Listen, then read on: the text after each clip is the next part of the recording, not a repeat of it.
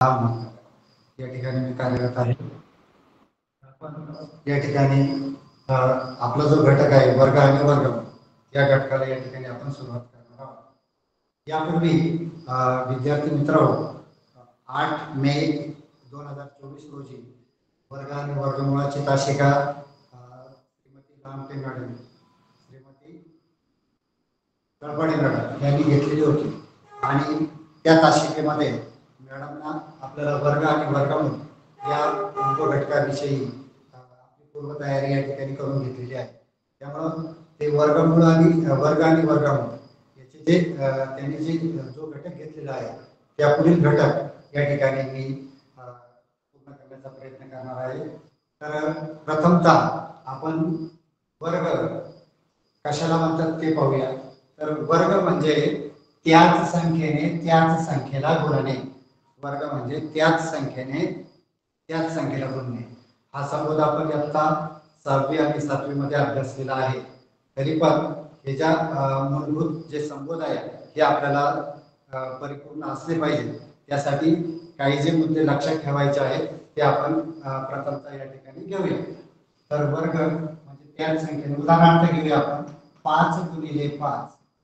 म्हणजे पाचने पाचला गुणलं आपण. या म्हणजे या ठिकाणी हा पाचचा वर्ग केला आणि वर्ग हा आपण या ठिकाणी असा तिरकस लिहित असतो. त्याचं जे वाचन आहे ते आपण सहावी सातवीमध्ये केलेलं आहे. याचं वाचन आपण पाचचा वर्ग असं करतो. पाचचा वर्ग असं याचं वाचन करतो. आणि पाचचा दोन वेळेस गुणाकार केल्यानंतर तो गुणाकार येतो पंचवीस. म्हणजे या ठिकाणी पंचवीस हा पाचचा वर्ग आहे. पंचवीस हा पाचचा वर्ग आहे. पाच हे काय आहे पंचवीसचं?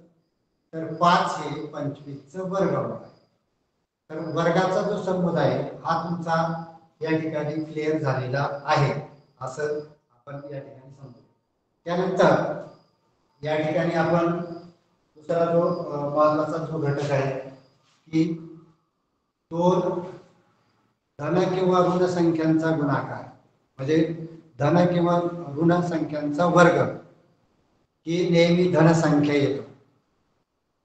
उदाहरणार्थ धन किंवा ऋण संख्येचा वर्ग नेहमी धनसंख्या येतो. हे लक्षात ठेवायचं. एक उदाहरण घेऊया. ऋण चार गुणिले ऋण चार बरोबर या ठिकाणी हा जो गुणाकार आहे हा धन सिक्स्टी म्हणजे प्लस सिक्स्टी हा धन आहे. त्यामुळं कोणत्याही संख्येचा वर्ग हा नेहमी धन असतो एवढं लक्षात ठेवा. कोणत्याही संख्येचा वर्ग हा नेहमी धन येतो हा एक मूलभूत जो संबंध आहे तो आपण या ठिकाणी लक्षात ठेवायचा तर त्यानंतर या ठिकाणी आपण वर्गामुळे कशाला म्हणायचं ते पाहूया. वर्गमूळ वर्गमूळ कशाला तर दिलेली पूर्ण वर्ग संख्या कोणत्या दोन संख्यांचा गुणाकार आहे? ती संख्या म्हणजे त्या संख्येचा वर्ग. उदाहरणार्थ घेऊया आपण. हे वर्गमुळाचं चिन्ह आहे. वर्गमुळात छत्तीस. वर्गमुळात छत्तीस. म्हणजे छत्तीस हा सहा गुणिले सहा या दोन संख्यांचा गुणाकार आहे. म्हणजे छत्तीसचं जे वर्गमूळ आहे ते आहे सहा. छत्तीसचं वर्गमूळ सहा. हे ज्या मूलभूत आपण गोष्टी आहेत ह्या अभ्यासलेल्या आहेत. फक्त आपल्याला एक आठवण म्हणून या ठिकाणी मी घेतलेलं आहे. त्यानंतर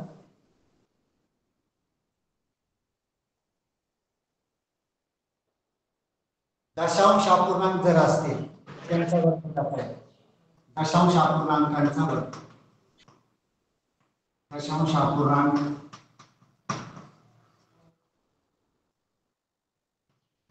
संख्येचा वर्ग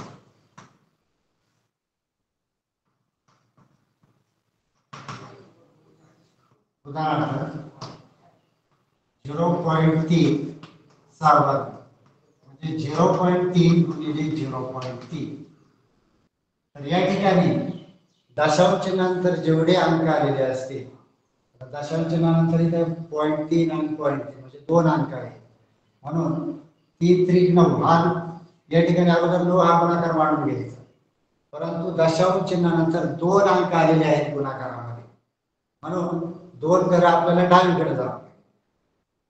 संख्येच्या डावीकडे ते एक घर गेलो इथं दुसरं घर गेलो आणि या ठिकाणी दशांश द्यायचं हा झाला झिरो पॉईंट तीनचा वर्ग.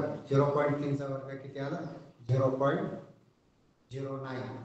हा या पद्धतीनं दशांश संख्येचा जो वर्ग आहे या ठिकाणी वर्ग होताना एक लक्षात ठेवायचं की दशांश चिन्हानंतर जेवढ्या संख्या असतील त्याची दुप्पट होती. म्हणजे इथे म्हणजे एकच घर आहे. वर्ग केल्यानंतर दोन घर आपल्याला डावीकडे सरकवावे कारण हे दशांशनाच्या बाबतीत हे सुद्धा आपण या ठिकाणी लक्षात ठेवायचं आहे. त्यानंतर ज्या संख्येच्या एकच स्थानी पाच आहे. ज्या संख्येच्या एकच स्थानी पाच आहे. एकच स्थानी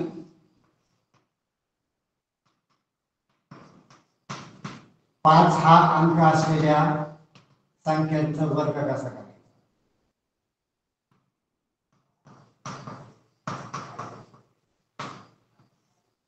तर दिसतंय का बोर्ड?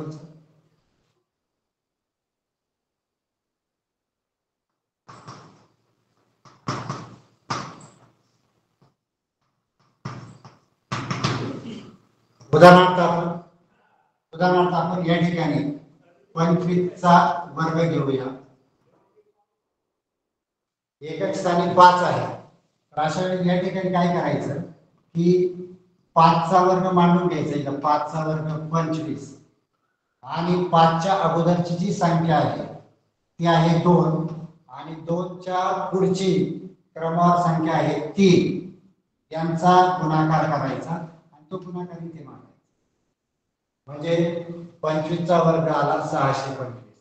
याच पद्धतीनं आपण या संख्येच्या एकक स्थानी पाच हा अंक आहे. उदाहरणार्थ पस्तीसचा वर्ग करूयात आपण. पस्तीसचा वर्ग या ठिकाणी हा पाचचा वर्ग मांडला पंचवीस. आणि तीन च्या पुढची संख्या आहे चार तीन चौक बारा. तो जो गुणाकार आहे तो पंचवीसच्या पूर्वी द्यायचा. हा झाला पस्तीसचा या पद्धतीने कोणती संख्या घ्या आपण एक थोडी मोठी संख्या घेऊया या ठिकाणी. उदाहरणार्थ पंच्याण्णवचा वर्ग करूया पंच्याण्णवचा वर्ग. तर या ठिकाणी पंच्याण्णवचा वर्ग करताना या ठिकाणी पाचचा वर्ग द्यायचा पाचचा वर्ग पंचवीस. आणि पाचच्या पूर्वीची संख्या आहे नऊ. नऊच्या पुढची क्रमवार संख्या आहे दहा. यांचा मल्टिप्लाय करायचा गुणाकार करायचा. यांचा गुणाकार केल्यानंतर नऊ दहा नव्वद हा झाला पंच्याण्णवचा वर्ग. आपण गुणाकार करून पाहिजे पडताळणी करून पाहिजे. की आपण काढलेला जो वर्ग आहे तो बरोबर आहे की चुकलेला आहे. जर आपण गुणाकार केला तर तो या ठिकाणी नव्वद पंचवीसच येणार आहे. खात्री करून घ्या तुम्ही. नंतर याचा जो सराव आहे तुम्ही नंतर करायचा आहे. पंच्याऐंशीचा वर्ग करायचा आपल्याला. तर मग कसं करता येईल? पाचचा वर्ग पंचवीस लिहिला आपण. त्यानंतर पाचच्या पूर्वीची संख्या आहे आठ इथे. आठच्या पुढची संख्या क्रमवार संख्या नऊ. आणि आठ नव्हे बहात्तर. हे बहात्तर कुठे लिहायचे? या पंचवीसच्या. अशा पद्धतीनं पंच्याऐंशीचा जो वर्ग आहे तो आहे बहात्तर पंचवीस. या पद्धतीनं ज्या संख्येच्या एकक स्थानी पाच आहे अशा सर्व संख्यांचा वर्ग आपल्याला या कृतीनुसार सहज पटकन काढता त्यासाठी या गोष्टी आवश्यक आहेत. या घटकावरती वर्ग आणि वर्गमूळ या घटकावरती आपल्याला एक किंवा दोन प्रश्न पडतात. त्या एका प्रश्नासाठी आपल्याला वर्ग आणि वर्गमूळ याचे संपूर्ण संबोध या ठिकाणी माहीत असणं आवश्यक आहे. कारण एक मार्ग दोन मार्कासाठी आपल्याला सहजासहजी ते मार्क मिळत नाही. कारण त्यामध्ये थोडीशी प्रश्नामध्ये क्लिष्टता असते. त्यामुळे आपल्याला या ठिकाणी हा जो वर्ग आणि वर्गमुळाचा जो घटक आहे हा आपल्याला परिपूर्ण लक्षात येणं आवश्यक आहे. त्यासाठी या ज्या मूलभूत गोष्टी आहेत त्या या ठिकाणी मी घेतलेल्या आहेत. त्यानंतर आता आपण के पाहिजे ज्यांच्या एकक स्थानी पाच आहे अशा संख्यांचा वर्ग कसा करायचा? आता मी वर्ग करण्याची दुसरी एक पद्धत सांगणार आहे. ती पण आपल्या संग्रही असू द्या. यापूर्वी मला वाटतं मॅडमने घेतलेली होती. परंतु तुमच्या सरावासाठी परत एकदा घेतो. उदाहरणार्थ बत्तीसचा आपल्याला या ठिकाणी बत्तीसचा वर्ग करायचा. मोठी संख्या. आहे. बावनचा वर्ग करायचा. बावनचा वर्ग. तर बावनचा वर्ग करताना या ठिकाणी काय करायचं?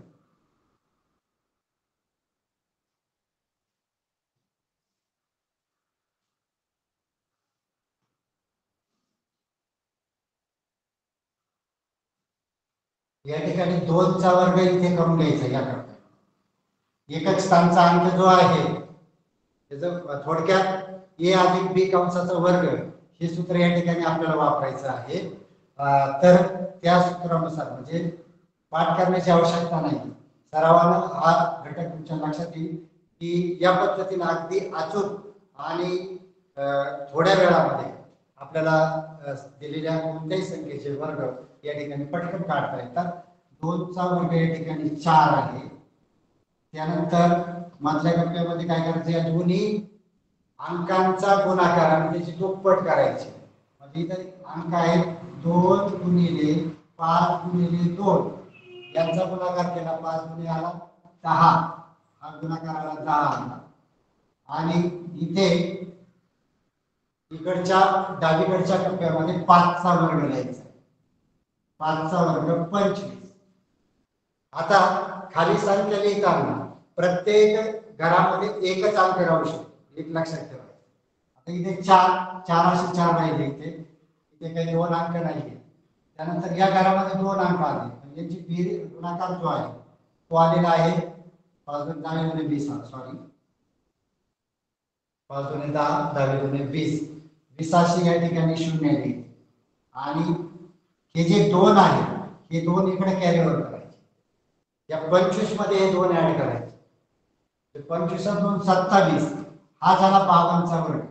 दोन हजार सातशे चार. करून पहा या पद्धतीने आपण कोणत्याही कोणतीही संख्या घ्या तुम्ही या ठिकाणी. उदाहरणार्थ सत्याऐंशीचा वर्ग घेऊया सत्याऐंशीचा वर्ग करताना सुद्धा या ठिकाणी टप्पे करून घ्यायचे. गोंधळ करायचा नाही. एकदम सोपं आहे. आणि वर्ग करण्याची जी पद्धत आहे ती झटपट अगदी अचूक कमी वेळेमध्ये आपल्याला वर्ग करता येतो. इथे सातचा वर्ग इथे एकच स्थानचा वर्ग घ्यायचा या घरामध्ये. एक एक स्थानचा सातचा वर्ग एकोणपन्नास करतो डायरेक्ट या ठिकाणी मी.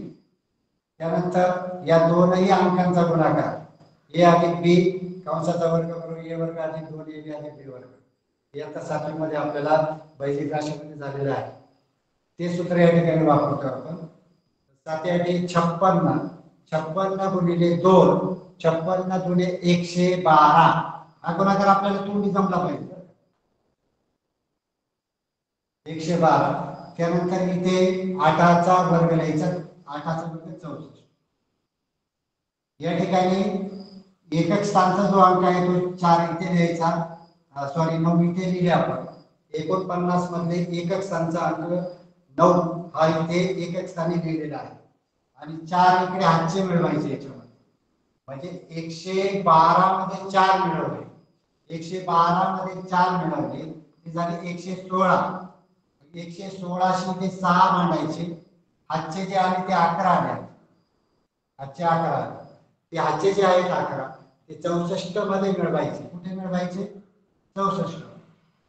चौसष्ट अकरा पंच्याहत्तर. हा झाला सत्याऐंशीचा वर्ग. सात हजार पाचशे एकोणसाठ सात हजार पाचशे याप्रमाणे आपल्याला कोणत्याही संख्येचे जे वर्ग आहे ते अगदी सहजतेने कमी वेळेत या ठिकाणी काढता येणं शक्य आहे. तीन अंकी संख्या जरी असेल तरी काही गोंधळायचं नाही. तीन अंकी संख्येचे एक उदाहरण घेऊया आपण. म्हणजे तुमच्या लक्षात येईल.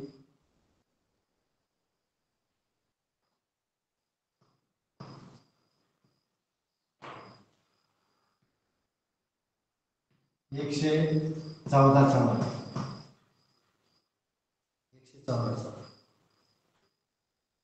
पाहूया आपण.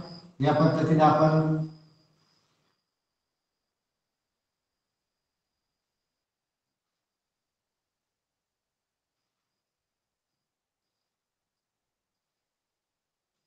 चारचा वर्ग घ्यायचा एकक स्थानच. चारचा वर्ग सोळा. डायरेक्ट मांडतो या ठिकाणी मी. त्यानंतर या ठिकाणी हा अकरा आणि चार यांचा गुणाकार करायचा. अकरा चौक चव्वेचाळीस आणि त्याची दुप्पट करायची. अकरा चौक चव्वेचाळीस गुणे अठ्ठ्याऐंशी. आणि या टप्प्यामध्ये अकराचा वर्ग घ्यायचा. अकराचा वर्ग आपल्याला एक ते तीस पर्यंत वर्ग आपले तोंडपाठ असणं आवश्यक आहे. तर आपण या क्रिया ज्या आहेत त्या अगदी झटपट या ठिकाणी करू शकतो. अकराचा वर्ग आहे एकशे एकवीस. या ठिकाणी संख्या मांडताना प्रत्येक घरामध्ये एकच अंक घेऊ शकतो आपण. एक असतो. सोळाशे सहा लिहिले हाची एक आला. तो हातचा अठ्ठ्याऐंशी मध्ये मिळवायचा. अठ्ठ्याऐंशी एक एकोणनव्वद एकोणनव्वद अशी नऊ आणि हातचे आठ इकडे गेले. हातचे आठ एकशे एकवीसमध्ये आठ मिळवायचे. एकशे एकवीस आणि आठ झाले एकशे एकोणतीस. हा झाला एकशे चौदाचा. किती आला? बारा हजार नऊशे शहात्तर या पद्धतीनं आपण एक अंकी संख्या असो किंवा दोन अंकी संख्या असो कोणत्याही संख्येचे जे वर्ग आहेत हे अगदी सहजतेने या ठिकाणी हसत खेळत कमी वेळेमध्ये आपण काढू शकतो. या क्लुप्तांचा वापर करा आणि थोडासा अधिक सराव करा. सराव केल्यानंतर दिलेल्या संख्येचा वर्ग कसा करायचा हे तुमच्या ताबडतोब लक्षात येईल हे झालं दिलेल्या संख्येचा आपण दोन अंकी संख्या असेल तीन अंकी संख्या असेल. या संख्यांचे वर्ग आपल्याला कसे करायचे? त्यानंतर एक ते आता या ठिकाणी मी पीडीएफ आणली होती परंतु प्रोजेक्टरला प्रॉब्लेम असल्यामुळे ती काही दाखवता येत नाहीये. एक ते पन्नासचे वर्ग जी पीडीएफ तयार केलेली होती सर्वसाधारणपणे एक ते तीसचे जे वर्ग आहेत ते आपले तोंडपाठ असणं आवश्यक आहे. त्याचं कारण असं की आपल्याला ज्या काही वर्ग आणि वर्गमुळाच्या संदर्भात ज्या काही क्रिया करायच्या आहेत. त्या क्रिया आपल्याला अगदी झटपट करता याव्यात. हा त्या पाठीमागचा उद्देश आहे. तर एक ते तीसचे जे वर्ग संख्या ज्या आहेत त्या आपण सर्वांनी पाठ करायच्या आहे आता एक या ठिकाणी एक अंकी पूर्ण वर्ग संख्या एक अंकी पूर्ण वर्ग संख्या किती आहे? असा एक प्रश्न विचारलेला आहे म्हणजे सोपा प्रश्न आहे. एक अंकी पूर्ण वर्ग संख्या किती आहे?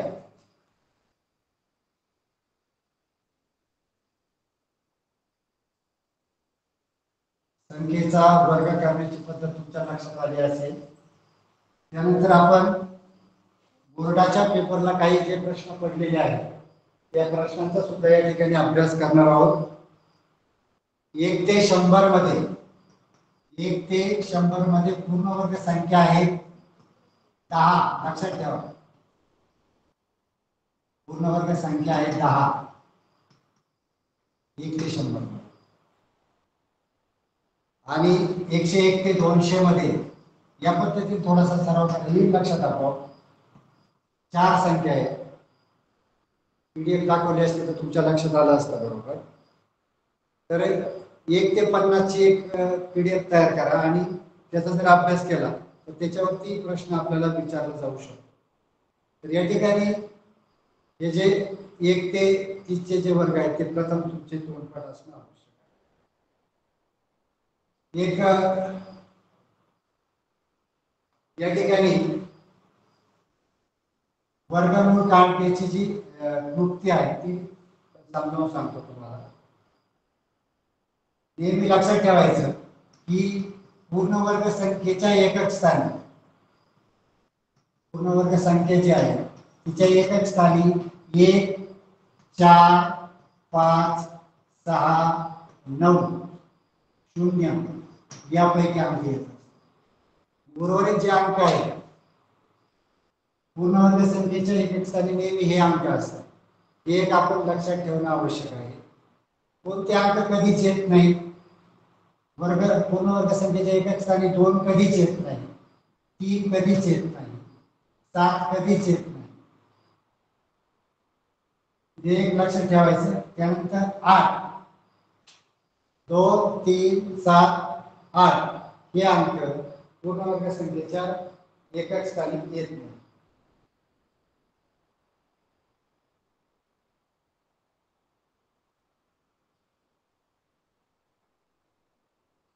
ठीक आहे. त्यानंतर आपण दिलेल्या संख्येचं वर्गमूळ मुक्तीच्या साह्याने कसं काढायचं किंवा आपल्याला भागाकाराची पद्धत माहिती आहे किंवा मूळ अवयव पद्धतीनेही आपण या ठिकाणी दिलेल्या संख्येचं वर्गमूळ काढतो. तर ती पद्धत न अवलंबता एक सोपी पद्धत सांगणार आहे. लक्ष द्या फक्त. थोडस लक्षात येण्यासाठी मी एक तक्ता देतो तो तक्ता तुमच्यासमोर असणं गरजेचं आहे. पूर्णवर्ग संख्येचे एकक स्थानी. पूर्णवर्ग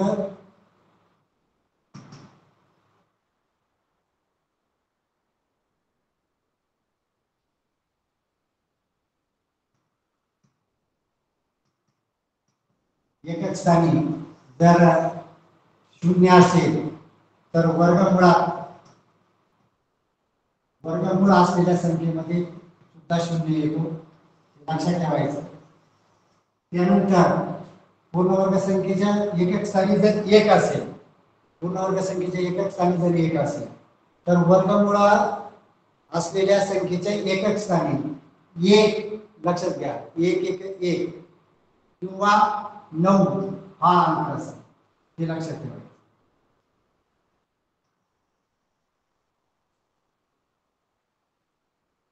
त्यानंतर पूर्णवर्ग संख्येच्या एक स्थानी जर चार असतील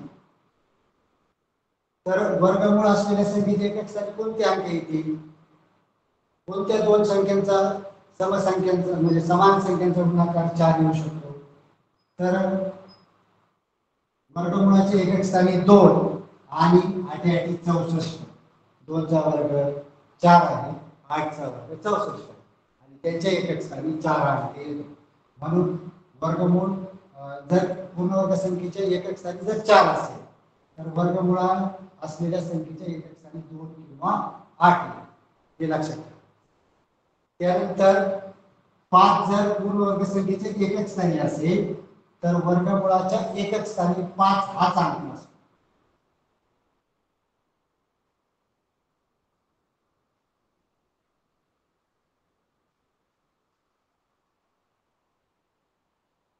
पूर्णवर्ग संख्येचे एकक स्थानी जर सहा असेल तर या ठिकाणी वर्गमूळ असलेल्या संख्येच्या एकक स्थानी चार चौक सोळा आणि सहा सात छत्तीस म्हणजे चार किंवा सहा हे अंक असू शकतात. हा तक्ता फार महत्त्वाचा आहे.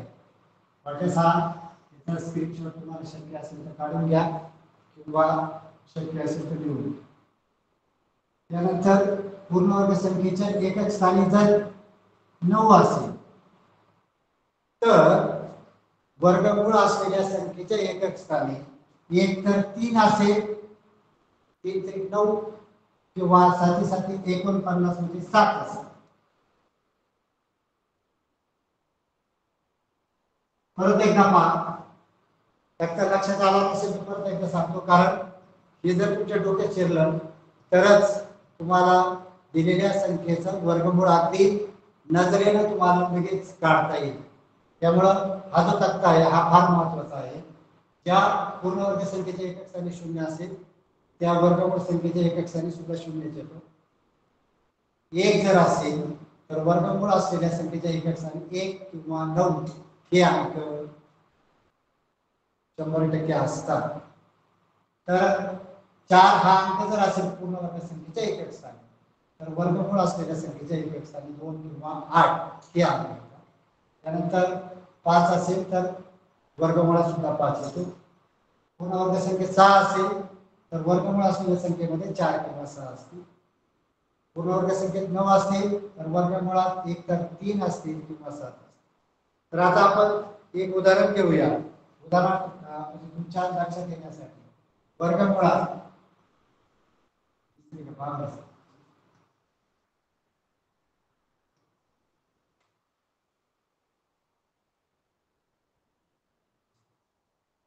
ठीक आहे? या ठिकाणी एक हजार चोवीसचं वर्गमूळ आपल्याला काढायचं आहे. एक हजार चोवीस.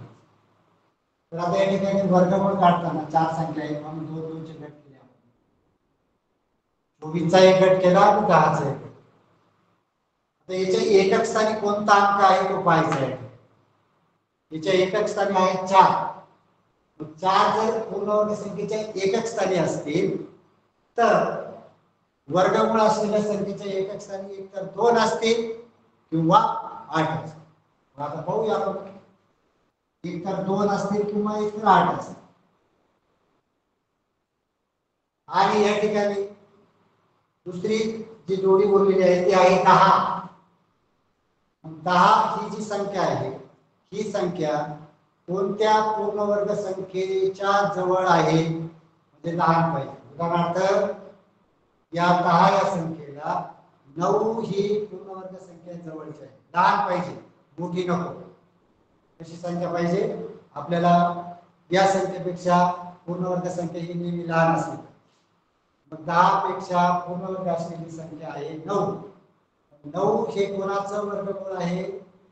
ते आहे तीनच. म्हणजे एक तर हा बत्तीसचा वर्ग नऊचा वर्गमूळ आहे तीन. इथे तीन लिहायचं इथे येतील लिहायचं काय केलं पहा या ठिकाणी एकक स्थानी चार आहे म्हणून वर्गमुळाच्या एकक स्थानी आपण दोन आणि आठ लिहिले. त्यानंतर दहा ही संख्या आपण कोणत्या पूर्णवर्गाच्या जवळपास आहे? तर दहा ही संख्या आहे नऊच्या जवळ. म्हणजे दहा पेक्षा लहान पाहिजे पूर्णवर्ग तर ती आहे किती आहे ती आहे तीन. म्हणजे नऊचं वर्गमूळ आहे तीन. आता या ठिकाणी आपल्याला काय करायचं आहे? नऊच्या पुढचं जे वर्गमूळ आहे नऊच्या पुढचं वर्गमूळ आहे सोळा. आता आपल्याला हा फरक लक्षात द्यायचा आहे. इकडे लक्ष द्या. पूर्ण वर्ग संख्या दहाच्या दहा म्हणजे नऊ जवळची आहे अधिक जवळची आहे. म्हणून अगोदरची संख्या घ्यायची. म्हणून वर्गमुळात एक हजार चोवीस वर्गमूळ येणार आहे बत्तीस. लक्षात घ्या. बत्तीस का घेतले त्याचं कारण सांग. कारण सोळा पेक्षा नऊ हे दहाला अधिक जवळ आहे. म्हणून मागची संख्या जर सोळाला समजा इथे जर तेरा असते तेरा असते तर आपल्याला खालची संख्या घ्यावी लागली असते. लक्षात घ्या. परंतु तसं होत नाहीये. या ठिकाणी ही जी संख्या आहे ही नवऱ्या जवळची आहे. म्हणून या ठिकाणी एक हजार चोवीसचं वर्गफळ जे आहे ते बत्तीस येणार आहे. आपण गुणाकार करून तो बत्तीस गुणिले बत्तीस. येतोय का? या ठिकाणी चार चौसष्ट. आपण आपला पद्धतीने करूया चार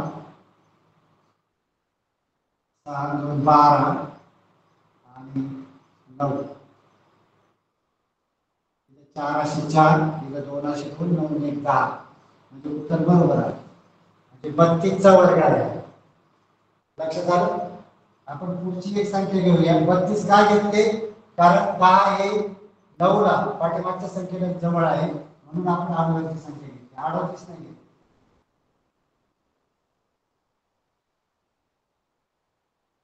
त्यानंतर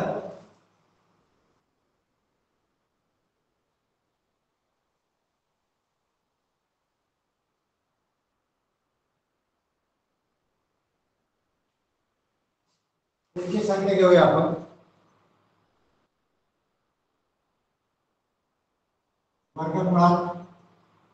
पंधरा हज़ार एकशे पंधरा हज़ार एकशे इथे दोन गट करूया आपण. एक तीन आणखी संख्येचा हा गट झाला आणि हा झाला. एकोणतीसचा एक गट झाला. आता इथे एकक स्थानी कोणता अंक आहे तो पहा. या ठिकाणी एकक स्थानी आहे नऊ. म्हणून नऊ जर असेल तर वर्गमुळात कोणते अंक येतात हे पहा. या ठिकाणी वर्गमुळात एक तीन येतील किंवा सात असते म्हणून आता ती संख्या कोणती आहे ती पाहूया आपण. एकशे एक्कावन्न एकशे एक्कावन्नच्या मागची पूर्ण वर्ग संख्या आपल्याला शोधायची आहे. तर एकशे एक्कावन्नच्या जवळपास पहा कोणता कोणती पूर्ण वर्ग संख्या आहे. जर वर्ग जर आपण पाठ असतील तर अकराचा वर्ग एकशे एकवीस बाराचा वर्ग एकशे चव्वेचाळीस तेराचा वर्ग एकशे एकोणसत्तर.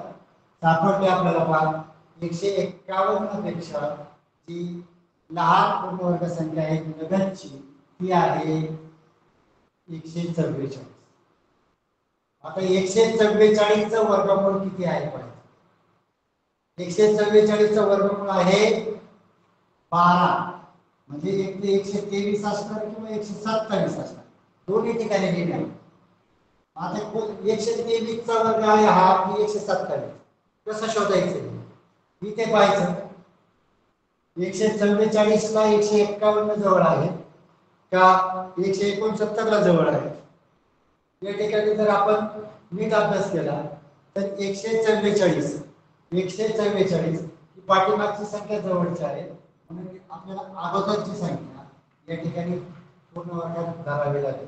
म्हणजे पंधरा हजार एकशे एकोणतीसचा वर्ग आहे. वर्गमूळ आहे एकशे तेवीस. लक्षात घ्या. परत एकदा सांगतो. या ठिकाणी एकच स्थानी नऊ आहे. म्हणून आपण या ठिकाणी प्रथम हे नऊ पाहिला. नऊ जर असेल तर या ठिकाणी वर्गमूळामध्ये तीन आणि सात येतात. या ठिकाणी तीन आणि सात लिहिले.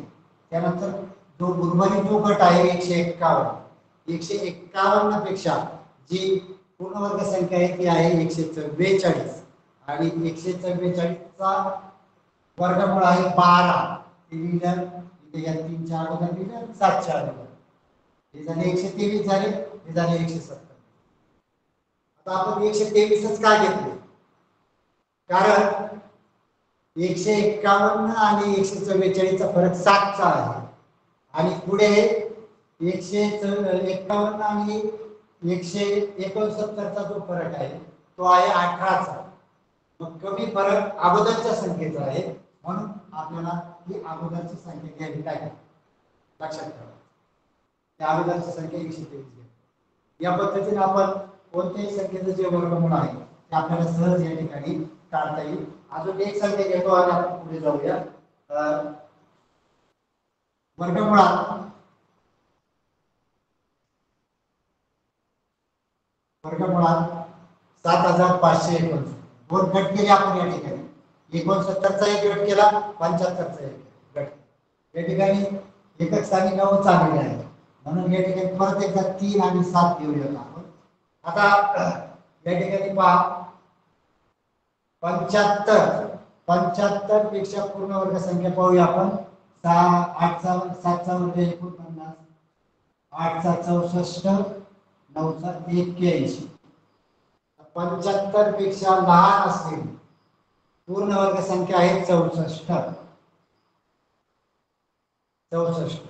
चौसष्टचं वर्गमूळ घ्यायचं इथे. च वर्गमूळ या ठिकाणी दोन्ही संख्येच्या अगोदर घ्यायचं. चौसष्ट. मग आता त्र्याऐंशी घ्यायची का सत्याऐंशी घ्यायची? हाच प्रश्न परत पडला. परत एकदा पाहायचं आपण.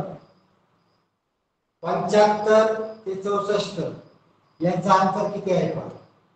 अकराच आहे. आणि पंच्याहत्तर ही संख्या एक्क्याऐंशी ला जवळची आहे. हे अंतर अकराचं आहे. पंच्याहत्तर आणि एक्क्याऐंशी मध्ये सहाचा अंतर आहे. म्हणून आपल्याला या ठिकाणी नंतरची संख्या घ्यावी लागेल. म्हणजे सत्याऐंशी येणार. इथे बघून तुम्ही म्हणजे आतापर्यंत जी उदाहरणं घेतली होती ती पहिली आली होती. तर आपण इथे सत्याऐंशी काय घेतले? कारण पंच्याहत्तर ही संख्या एक्क्याऐंशी ला जवळची आहे म्हणून आठ. जर नंतरची संख्या जवळची असेल तर पुढची संख्या घ्यायची. अगोदरची संख्या जवळची असेल तर अगोदर एवढं लक्षात ठेवायचं आणि ही जी अं, वर्गमूळ काढण्याची जी पद्धत आहे अगदी तुम्ही निरक्षराने कोणत्याही संख्येचं वर्गमूळ पटकन काढू शकता. कोणतीही संख्या. तर एक एक उदाहरण घेतो तुमच्या थोडस लक्षात येण्यासाठी. पंधरा मिनिटं आपल्याला क्लास उशिरा सुरू झालेला आहे. थोडस पंधरा मिनिटं आपण जास्त वेळ घेतलं चालेल का मॅडम? हॅलो?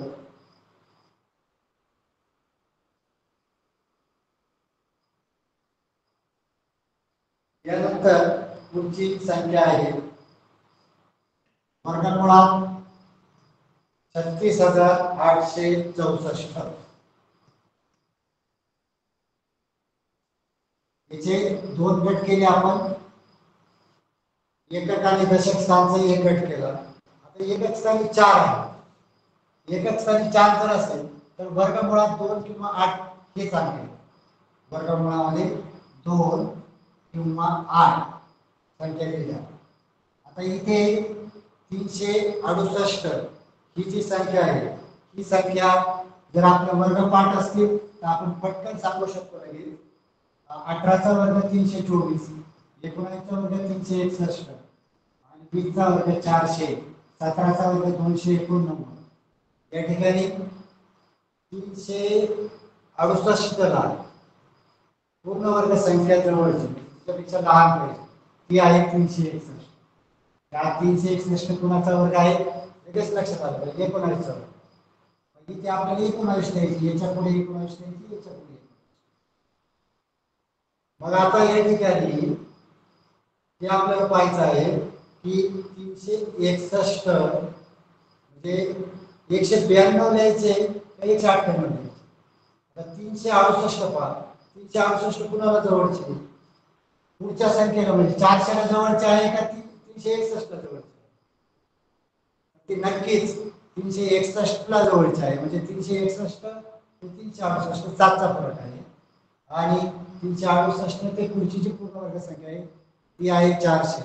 तो फरक आहे बत्तीस या ठिकाणी तीनशे एकसष्ट ही अगोदरची संख्या असल्यामुळं छत्तीस हजार आठशे चौसष्टचं जे स्क्वेअर रूट जे आहे ते येणार आहे अगोदरची संख्या एकशे ब्याण्णव.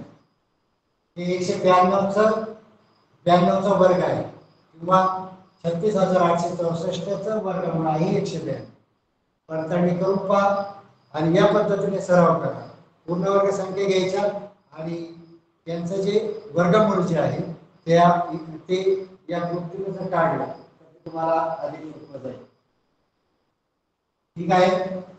आता हे या ठिकाणी मी हे बोर्ड आहे तो क्लीन करतो.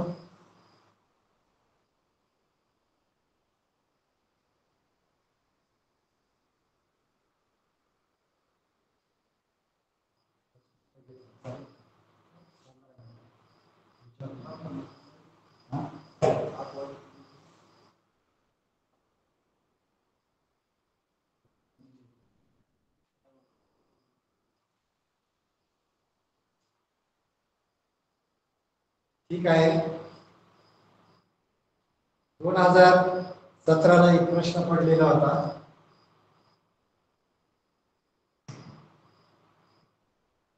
वर्ग वर्गमुळात square root of one point nine ninety six plus square root of two point twenty five plus square root of 2.89 upon square root of 0.00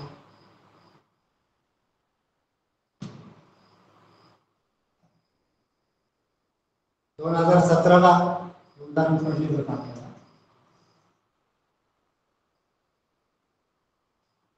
तर इकडे लक्ष द्या. या ठिकाणी एकदम सोपं आहे. उदाहरण आपलं फार असं पाहिल्यानंतर असं वाटतं खूप अवघड आहे. परंतु एकदम सोपं या ठिकाणी एक्झाम्पल आहे याचे पर्याय सुद्धा आपल्याला देतो. पहिला पर्याय आहे दहाचा स्क्वेअर दुसरा पर्याय आहे दहा घातांक थर्टी तिसरा पर्याय आहे दहा घातांक मायनस दोन. आणि चौथा पर्याय आहे. दहा घातांक तीन. पाहूया हे उदाहरण आपण सोडूया या ठिकाणी.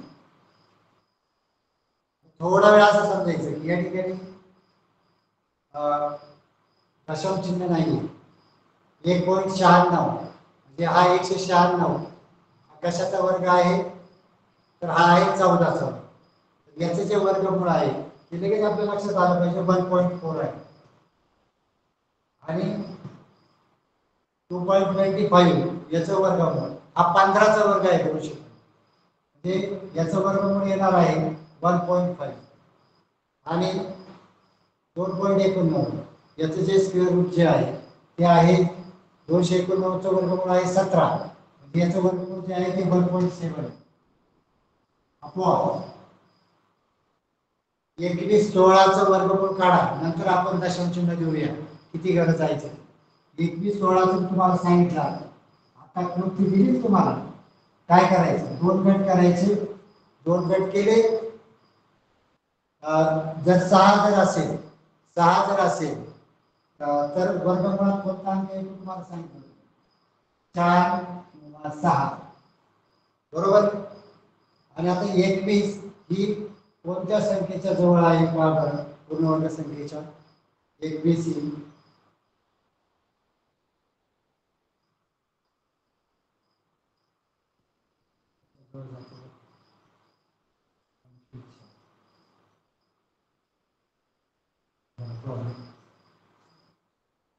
त्या संख्येच्या एकवीस सोळा या संख्येचं वर्गमूळ आहे शेहेचाळीस. बरोबर पहा. वर्ग करूया आपण. लक्षात येईल साईने बारा साईने बारा चोवीस गुणे त्रेचाळीस.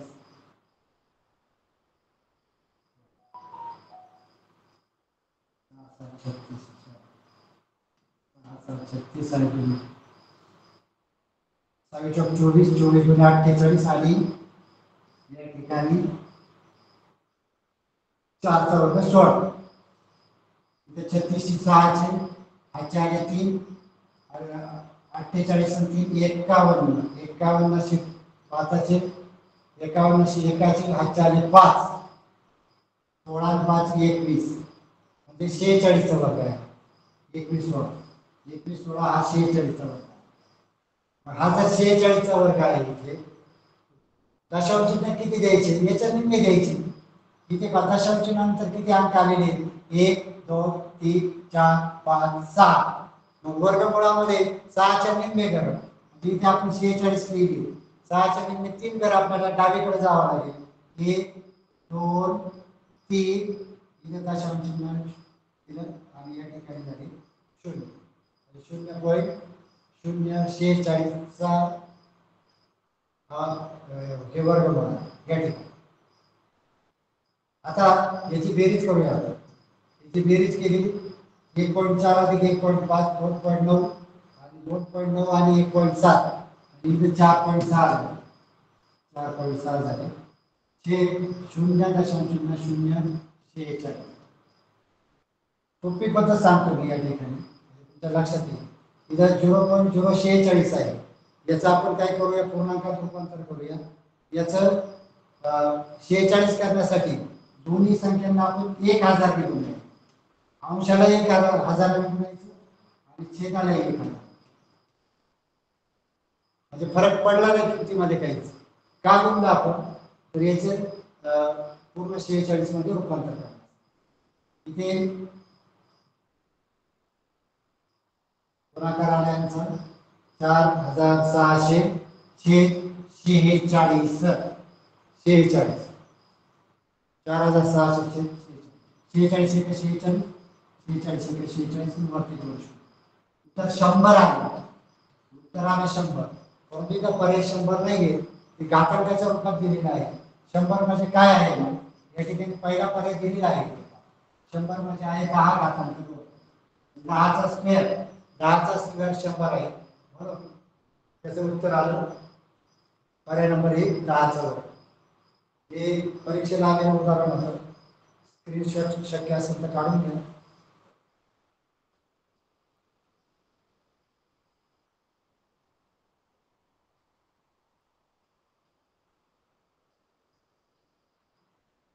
त्यानंतर दोन हजार तेवीस ला एक प्रश्न पडला होता. दोन हजार तेवीस मागच्या वर्षी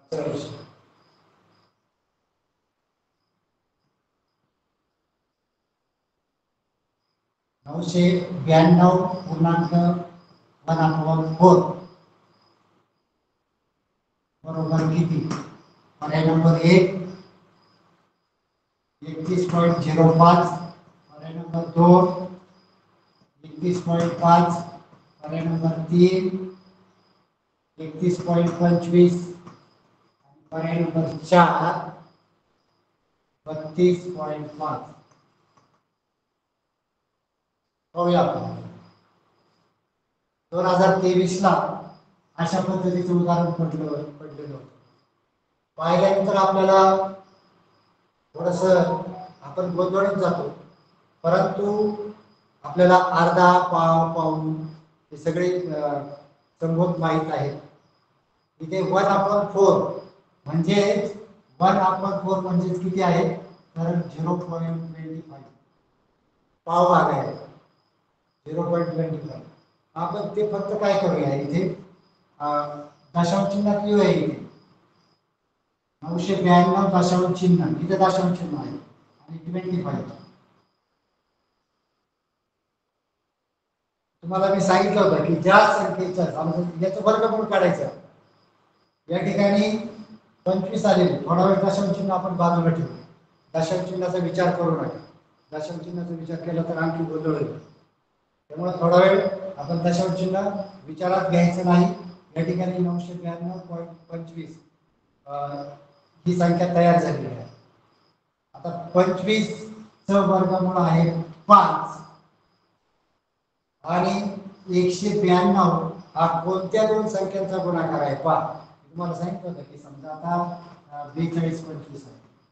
बेचाळीस पंचवीसचं जे वर्गमूळ आहे ते आहे पाच आणि बेचाळीसचा गुणाकार सहा गुणिले सात. त्याच्यातला लहान संख्या घेत असतो आपण पासष्ट. पासष्टचा वर्ग आहे बेचाळीस पंचवीस त्याच पद्धतीनं याचा सुद्धा आपल्याला वर्गमूळ या ठिकाणी काढता येईल. नऊशे ब्याण्णव कोणत्या दोन संख्यांचा गुणाकार आहे? उत्तरात पाहिलं तरी लगेच लक्षात येईल. तर नऊशे ब्याण्णव हा जो गुणाकार आहे तो आहे एकतीस गुणिले बत्तीस। हा गुणाकार एकतीस गुणिले पाहूया आपण करून बत्तीस एक एक एकतीस गुणे डायरेक्ट गुंतवून एकतीस गुणे बासष्ट आचार्य सहा एकतीस त्रिक त्र्याण्णव सहा किती झाले औषध आहे ब्याण्णव सहा नव्याण्णव म्हणजे हा एकतीसचा वर्ग आहे. म्हणजे सॉरी तीनशे पंधराचा वर्ग आहे. आता इथे दशांश कुठे पुढे द्यायचं इथं वर्गमुळात पाहिजे की की दशांशांचा दोन अंक आलेले आहेत. म्हणजे संख्येमध्ये आपल्याला एक घर डावीकडे जावं लागेल. एकतीस याचं जे उत्तर आहे ते येणार आहे एकतीस एकतीस पॉईंट पाच नऊशे ब्याण्णव पॉईंट पंचवीसचं वर्ग जे आहे ते आहे एकतीस पॉईंट दोन हजार तेवीसला हा प्रश्न विचारलेला होता. त्यानंतर दोन हजार चोवीसला विचारलेला एक प्रश्न आहे तो एक घेऊया आपण मागच्या वर्षी आता जी फेब्रुवारीमध्ये जी परीक्षा झाली ते लक्षात आलं असेल तर याचा स्क्रीनशॉट काढायचा असेल तर स्क्रीनशॉट काढू शकतो.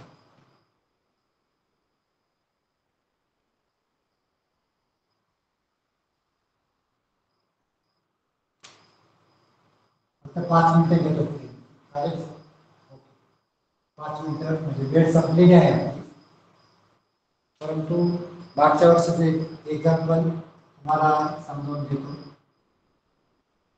प्रश्न. वर्गमुळात स्क्वेअर रूट ऑफ़ पॉईंट पंचवीस अधिक घनमूळ शून्य सातशे एकोणतीस. घनमूळ सुद्धा पाठ पाहिजेत आपण अधिक एक स्क्वेअर रूट ऑफ एक पॉईंट एकवीस वर्ग आहे. पूर्ण कंसाचा वर्ग आहे.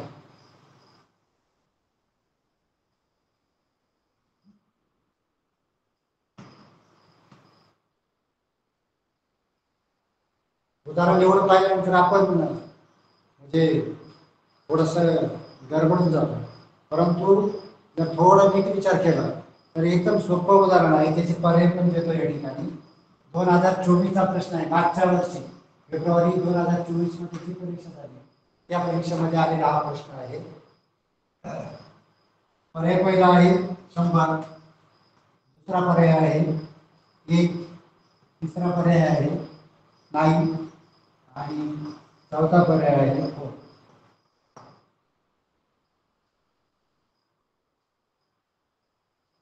ठीक आहे आपण उदाहरण या ठिकाणी मी डायरेक्ट सोडवायला सुरुवात करतो. याचं वर्गमूळ घ्यायचं आहे सहा पॉईंट पंचवीस. हा कोणा सहाशे पंचवीस हा पंचवीसचा वर्ग आहे. दशांश आहे. गोंधळून जायचं नाही दोन पॉईंट पाच सहा. याचं वर्ग आलं टू पॉईंट फाईव्ह प्लस याचं घनमूळ घ्यायचं आपण. लक्षात ते घनमूळ घ्यायचे. घनमूळ म्हणजे त्या संख्येचा तीन वेळेस गुणाकार. सातशे एकोणतीस म्हणजे नऊ गुणिले नऊ गुणिले नऊ. याचा गुणाकार जर केला तर सातशे एकोणतीस आता इथे झिरो पॉईंट नऊ झिरो पॉईंट नऊ झिरो पॉईंट नऊ. नाही झिरो पॉईंट सातशे. याचं जे घनमूळ जे आहे ते आलं झिरो पॉईंट नाईन लक्षात घ्या. अधिक एक पॉईंट एकवीस याचं वर्गमूळ अं, वर्गमूळ आलेला आहे. एक पॉईंट एक. कंसाचा वर्ग विसरायचा नाही. आणि याचं वर्गमूळ डायरेक्ट काढतो फोर पॉईंट फाईव्ह लक्षात घ्या. चार पंचवीस पाच पाच पंचवीस चार पॉईंट पाच. वीस पंचवीसचा वर्गमूळ काढला आपण आपल्या याच्याप्रमाणे. इथं पंचवीसचा वर्गमूळ पाच आणि वीस हा गुणाकार कोणत्या दोन संख्यांचा येतो? चार गुणिले पाच. याच्यातली लहान संख्या घ्यायची. चार म्हणजे हा पंचेचाळीसचा वर्ग आहे. परंतु इथे एक अशा चिन्ह नंतर दोन अंक आहे म्हणून इथं वर्ग आपलं वर्गमुळामध्ये आपल्याला इथे काय करावं लागेल? दशम चिन्ह या ठिकाणी द्यावं लागेल. याची बेरीज करूया आपण. या ठिकाणी दोन पॉईंट पाच अधिक शून्य पॉईंट नऊ. यांची बेरीज झाली three point four plus one point one. Bracket square upon four point five. बरोबर? यांची बेरीज केली किती आली? Four point five upon four point five. Bracket square. Four point five four point five. Four point five four म्हणजे पहा एवढं मोठं गणित म्हणजे डोंगर डोंगर ते काढले. या ठिकाणी एकचा वर्ग बरोबर एक पर्याय नंबर दोन. या ठिकाणी अशा पद्धतीने हे मागच्या वर्षीच पडलेलं उदाहरण होतं. अजूनही काही उदाहरणं आहे परंतु या ठिकाणी आपल्याला वेळेचं बंधन आहे. पुढील घटकामध्ये राहिलेला जो उर्वरित जो भाग आहे हा आपला कंटिन्यू केला जाईल. आपण सर्वजण या ठिकाणी उपस्थित राहिला त्याबद्दल सर्व विद्यार्थी वृंदाचे या ठिकाणी स्वागत करतो आभार मानतो. आणि आजची तासिका या ठिकाणी संपली. असं जाहीर